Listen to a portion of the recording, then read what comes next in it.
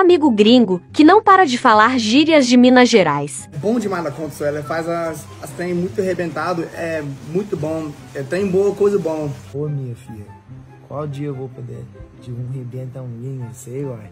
É reda de mim, sabe? Acorda! Acorda! Acorda, tá na casa não! Que nos Estados Unidos não, amor! Shit! Nem preciso morder esse pô. Tá bom, vou levantar. Esse rapaz é um jacu, não é? Sair lá dos Estados Unidos pra vir parar em Cana Verde. O que, que ele veio fazer em Cana Verde? Ó, meu filho, tá na hora de rebenta a pimenta, né, meu filho? Não, pimenta demais, seu uai. Ô, oh, não fizeram um morder sem precisa, esse meu ar condicionado pra fazer, meu filho. É, vai ser bom demais da conta, só, porque aqui tá calor demais. Mordesse nem precisa, vai. Aí ele tá falando. Ele mesmo, Ele tá falando igualzinho o Merson. Nossa, pimenta é bom demais da conta, só, uai. Você viu de quem, pimenta? Chupa, gringo! Tá maroto não, filho. Aí tem desse, um morder com filho, uai. O cara tá bom. Conta, só. Mano, mano, Rebenta, tá arrebentando na letra mesmo. beleza. Rebenta na Todd.